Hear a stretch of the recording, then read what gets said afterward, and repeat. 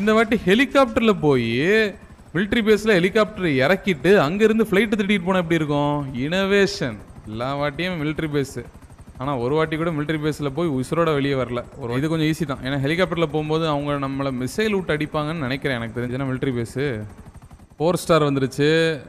ரொம்ப நன்றி. ஓப்போ என்னடா இது? அறிக்கை இல்லாமல் அட்டாக் பண்ணுறானுங்க ஏய் ஏய் ஏ தம்பி வண்டி நிறுத்து வண்டி நிறுத்து. ஆ தேங்க்ஸ்ப்பா தேங்க்யூ தேங்க்யூ அந்த டேங்க் வரதுக்கு முன்னாடி முதல்ல இந்த ஃப்ளைன் எடுத்துட்டு நாங்கள் வந்து ஆடாங்க மக்கா அதுக்குள்ளே அடிச்சிட்டான்டா. எந்த டேங்க்கும் வரலன்னா இப்போ நம்மளுக்கு மிஷன் சக்ஸஸ்ன்னு வச்சுக்கோங்க.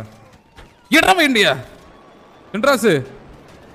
இனிமே நீ பயப்படுறதுக்கு ஒன்றும் இல்லை. வரட்டா மாப்பிள.